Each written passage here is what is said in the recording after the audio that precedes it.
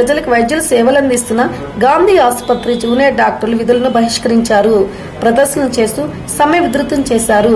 సేవా దృక్పథంతో పనిచేస్తున్న రోగులు వారి బంధువులు తమపై తరచుగా దాడి చేస్తున్నారని వైద్య విద్యార్థుల సంఘం అధ్యక్షులు అభిలాష్ అన్నారు. విధి నిర్వహణలో రక్షణ కల్పిస్తామని రాష్ట్ర ప్రభుత్వం చాలా హామీలు ఇచ్చినా అవి అమలు కావటం లేదని ఆసుపత్రుల్లో ప్రత్యేక రక్షణ దళాలను ఏర్పాటు చేయాలని తమపై దాడి చేసిన వారిని అరెస్ట్ చేయాలని డిమాండ్ చేశారు.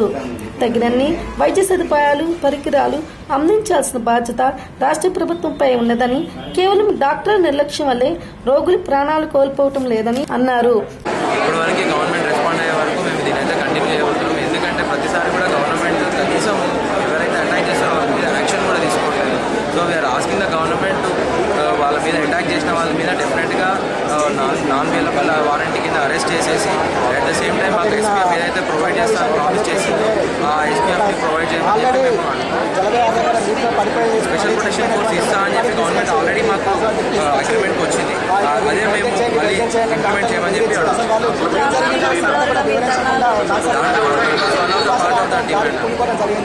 దాని తర్వాత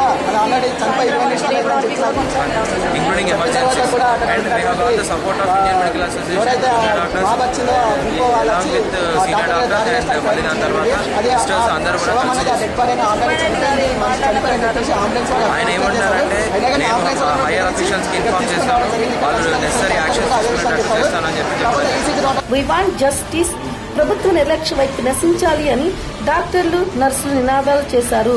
తమకు రక్షణ కల్పించడంలో ప్రభుత్వం ఖచ్చితంగా నిలబడతామని హామీలు ఇస్తేనే ఆందోళన విరమిస్తామని అన్నారు. TV eleven news Hyderabad.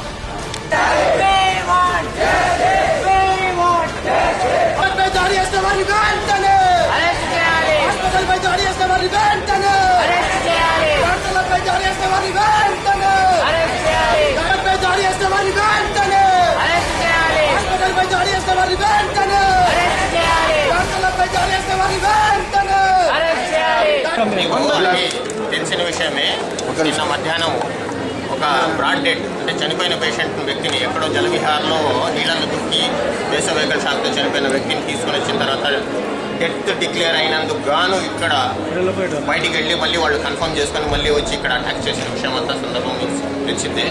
మా క్యాజువాలిటీ అంతా కంప్లీట్గా పాడు చేసేసారు. పాల్గొట్టేశారు అద్దాలు పాల్గొట్టారు కిలోమీటర్ పాల్గొట్టారు. ఫర్నిచర్ పాడు చేసేసారు ఇవన్నీ చేశారు. దీని విషయమే పోలీసు వాళ్ళు కూడా వెంటనే వాళ్ళు వచ్చారంతా చాలా గ్రూప్గా. అక్కడే ఆగిపోయింది. వాళ్ళు కేసులు బుక్ చేస్తామని చెప్తున్నారు. అంత లోపల మా డాక్టర్స్ కూడా వీళ్ళకు ప్రొటెక్షన్ అనేది ఎందుకంటే వాళ్ళ మీద దాడికి జరగడానికి జరిగింది.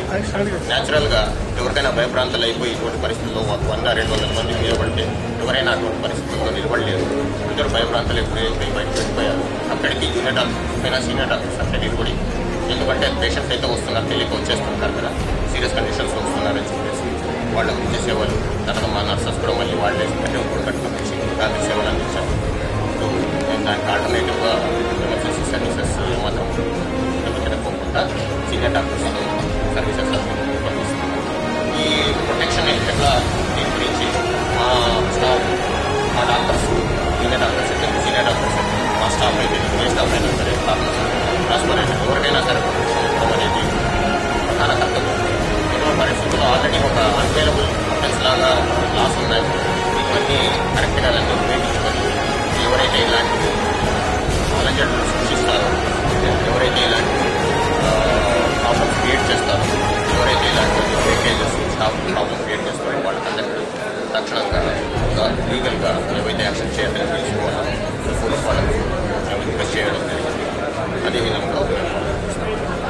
పేషెంట్ నేమ్ మన వాళ్ళు త్రీ థర్టీకి ఈసీస్ తీసినారు. ఒరిజినల్ కాపీ కూడా మా దగ్గర ఉంది. నిన్న మీడియా మిత్రులు కూడా ఇవ్వడం జరిగింది. దీనికంటే ముందు వాస్తవాలు మీడియా మిత్రులు తెలుసుకోవాల్సింది ఏంటంటే నేను ఇందాకనే వన్ నాట్ ఎయిట్ సర్వీసెస్కి ఎమర్జెన్సీ సర్వీసెస్కి ఫోన్ చేయడం కూడా జరిగింది. మీడియా మిత్రులు కావాలంటే కూడా ఫస్ట్ ఏమైందంటే సాజిద్ ఖాన్ జలవిహార్ నెక్లెస్ రోడ్లో ఉన్నటువంటి జలవిహార్లో స్విమ్మింగ్కి వెళ్ళాడు అక్కడనే చనిపోయినాడనే. అంటే వాటర్లో కనబడకుండా పోయినాక ట్వంటీ మినిట్స్కు వాళ్ళ ఫ్రెండ్స్ గుర్తించడం జరిగిందంట. దాని తర్వాత వన్ నాట్ ఎయిట్కి ఫోన్ చేస్తారు వన్ నాట్ ఎయిట్ వాళ్ళు ఖైతాబాద్ వాళ్ళ సెంటర్ నుంచి అంబులెన్స్ని నెక్లెస్ రోడ్ పంపించినారు. అంబులెన్స్ వాళ్ళు అక్కడ పోయి బాడీ ఆల్రెడీ డెడ్ అయిపోయింది. ఎక్స్పైర్ అయిపోయింది ఇది. సో మనం మేము చేసేది ఏం లేదని చెప్పి వాళ్ళ రికార్డులు కూడా రాసుకోవడం జరిగింది. మీరు కావాలంటే వన్ నాట్ ఎయిట్ వాళ్ళకి ఫోన్ చేయండి. వాళ్ళు డాక్యుమెంట్ ఇస్తారు ఒకటి. నేను ఇందాకనే ఫోన్ చేసి మాట్లాడాను. ఎందుకంటే మీడియాలో కొన్నిసార్లు అంటే మీకు తెలియకపోవడం వల్ల లేకపోతే ఇంకేదైనా ఇన్ఫర్మేషన్ వల్ల మీకు కరెక్ట్ సమాచారం తెలియకపోవడం వల్ల డాక్టర్ నెగ్లిజెన్స్ వల్ల చనిపోయిందని చెప్పి మీడియాలో పదే పదే రావడం జరుగుతుంది. మీరు కావాలంటే వన్ నాట్ ఎయిట్ అయితే మేమైతే మేనేజ్ చేయలేం కదా. వన్ నాట్ ఎయిట్లో కరెక్ట్గా పనిచేసేది one nought eight emergency services మీరు కావాలంటే వన్ నాట్ ఎయిట్ వాళ్ళకి కాల్ చేయండి. ఇక్కడ నుంచి ఇప్పుడు కాల్ చేయండి. సూపర్వైజర్ కనెక్ట్ చేయమనండి. వాళ్ళు అడగండి. అక్కడనే డెత్ అయిపోయింది బాడీ దాన్ని తీసుకొచ్చి గాంధీకి తీసుకొచ్చినాక మా డాక్టర్లు క్లినికల్గా వాళ్ళు ఇది అక్కడ కూడా డెత్ అయిపోయింది చాలా చాలాసేపు అయింది టైం అయిపోయింది ఇది. కాబట్టి half an hour one hour అయిపోయింది చనిపోయినాయి. అని చెప్పి డిసైడ్ చేసినాక ఈసీజీ వాళ్ళు రావడానికి చాలా మంది ఉంటారండి ఈసీజీ తీయడానికి. ఫైవ్ మినిట్స్లో ఈసీజీ వచ్చింది. ఈసీజీ కూడా తీస్తారు. మేము ఎప్పుడు కానీ క్లినికల్గా డిసైడ్ చేసినాక మళ్ళీ ఈసీజీ తీసి దాంట్లో ఏమైనా హార్ట్ బీట్ ఉందని చూసుకుంటాము.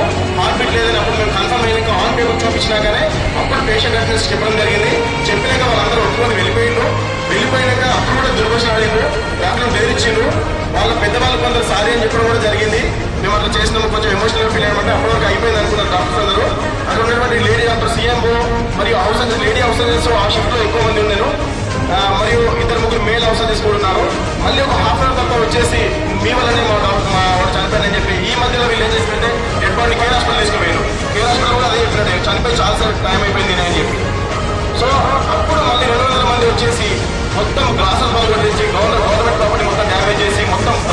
పరిగెత్తి పరిగెత్తించినారు. లేని డాక్టర్ మీద దాడి చేయడానికి కూడా ప్రయత్నించినారు చంపుతామని వివరించినారు.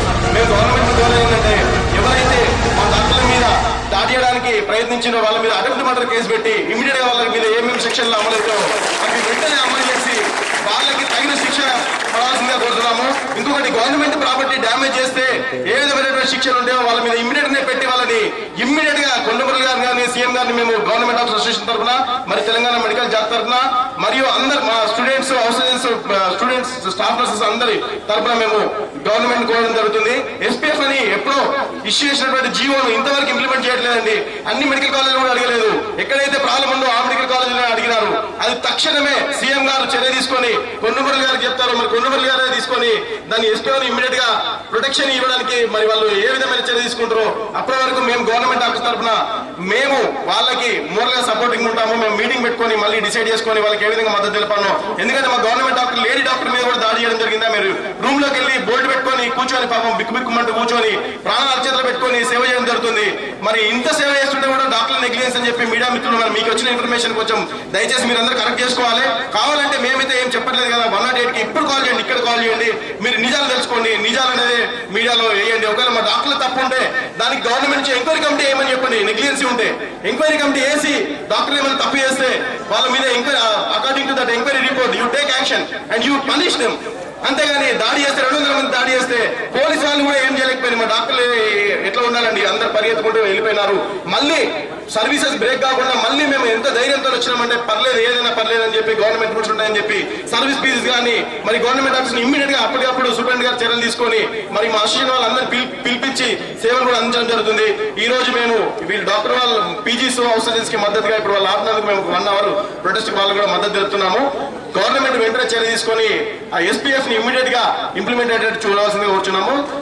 ఆ వాళ్ళు ఎవరైతే అటాక్ చేసిండో వాళ్ళందరి మీద attempt murder case and government property damage case book చేయాల్సిందిగా కోరుతున్నాం హాస్పిటల్లో జరిగిన సంఘటన చాలా బాధాకరం.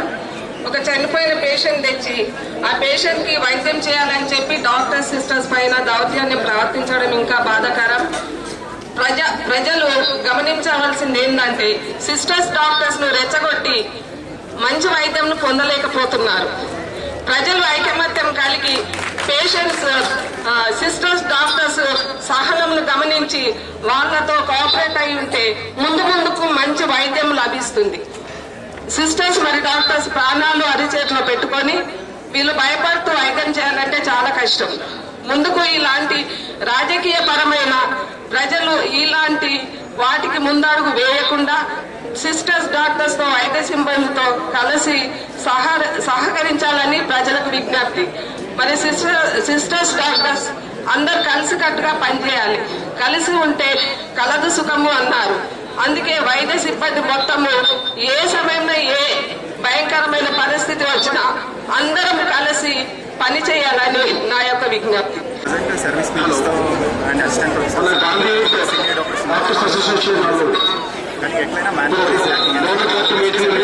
దయచేసి అందరూ అసోసియేషన్ బిల్డింగ్లో క్యాంటీన్ గవర్నమెంట్ రెస్పాన్స్ చేయకపోతే వాళ్ళు కూడా బాయ్కౌట్ చేయడం జరుగుతుంది. అప్పుడు ఇంకా కంప్లీట్గా సర్వీస్ ప్యానల్ గవర్నమెంట్ కాలేజ్ ఉన్న గవర్నమెంట్ స్కూల్ వాళ్ళు they have to take some action వాళ్ళు రెస్పాన్స్ ఇచ్చేంత వరకు మేము డెఫినెట్గా కొనసాగిస్తాం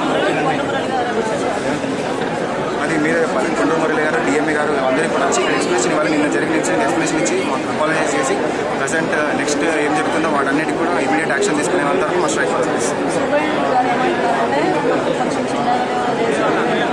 మీ ఉద్దేశం మీరేమనుకుంటున్నారు సార్ మేమైతే మా ఏమంటే ఇప్పటివరకు స్పెషల్ ప్రొటెక్షన్ మేము ఈ ఎన్విరాన్మెంట్లో వర్క్ చేయలేము ఎందుకంటే మా ప్రాణంతో మా ప్రాణానికి ప్రమాదం ఉన్న స్థితిలో మేము వర్క్ చేసి మా మాకు మేము ప్రమాదం తెచ్చుకోలేము. మేము బతుకుంటేనే మిగతా పేషెంట్స్కి సేవ్ చేస్తాము కాబట్టి పేషెంట్స్ మీద కన్సర్న్ ఉన్నా కూడా మేము ప్రస్తుతానికి అయితే స్ట్రైక్ దిగాము. అండ్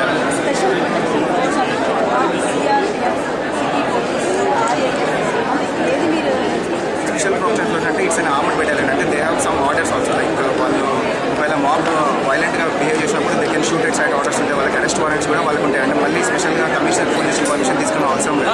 కాబట్టి అటువంటి ప్రొటెక్షన్ ఫోర్స్ అంటే మాకు కూడా చాలా సేఫ్టీ ఉంటుందని మేము భావిస్తాం ఎస్ ట్వంటీ ఫోర్ అవర్స్ ఇక్కడ ఉంటుంది ఫైవ్ నుండి స్టార్ట్ అయింది. ఈ హాస్పిటల్కి వచ్చిన శుభముహూర్తం. మంచిదే. కాకపోతే it was between the DVR college and our staff చాలా గొడవ ఒకరికొకరు గుర్తుకున్నారు అది అయిపోయిందా అప్పుడు వీళ్ళు సీదట్ వల్ల ప్రొటెక్షన్ అన్నారు five by six by seven by ten how many years like this మేమంతా ఆడవాళ్ళం ఎక్కువ లైట్ ఉంటుంటారు ప్రస్తుతం మనము సికింద్రాబాద్లోని గాంధీ హాస్పిటల్ వద్ద ఉన్నాము. ఇక్కడ జూనియర్ డాక్టర్లు సమ్మె చేస్తున్నారు. మాకు మాకు అసలు ప్రొటెక్షన్ లేదు. మాకు స్పెషల్ ప్రొటెక్షన్ ఫోర్స్ కావాలని ఎన్నిసార్లు ధర్నా చేపట్టినప్పటికీ ఇక్కడ అసలు ఏమీ జరగట్లేదు. మాకు ఎలాంటి హామీలు ప్రభుత్వం అందించట్లేదు కొండ మురళి గారు కానీ సీఎం గారు కానీ మాకు ఎలాంటి హామీలు అందించట్లేదు. ఎట్టి పరిస్థితుల్లో మేము ఈ ధర్నాను విరమించేది లేదు. మాకు ప్రభుత్వం హామీ ఇచ్చి వాళ్ళందరూ వచ్చేంత వరకు మేము ఇక్కడ నుంచి కదిలేది లేదు. మాకు కంపల్సరీ ప్రత్యేకమైనటువంటి హామీలు సీఎం గారు కానీ వస్తారు కొండ మురళి గారు వస్తారు. ప్రభుత్వం మాకు స్పెషల్ ప్రొటెక్షన్ ఫోర్స్ కావాలని జూనియర్ డాక్టర్లు అడుగుతున్నారు. కెమెరామెన్ రాఘవతో రేఖ టీవీ లెవెన్ హైదరాబాద్.